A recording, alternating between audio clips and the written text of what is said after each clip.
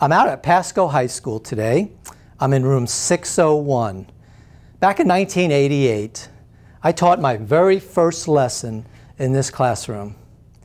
And over the past 28 years, I was a teacher at Pasco High School, an administrator, assistant principal at Pasco High School, an assistant principal at River Ridge Middle High School, principal back in 1998 at Gulf Middle School, principal at Land Lakes High School, and then principal at Wiregrass Ranch High School. In addition to that, the past three years, I've been assistant superintendent. Over those 28 years, I've taught many, many lessons uh, throughout these communities. And I've learned many, many lessons throughout these years. I'm here today to tell you that my last lesson in Pasco County will be on June 30th of this year.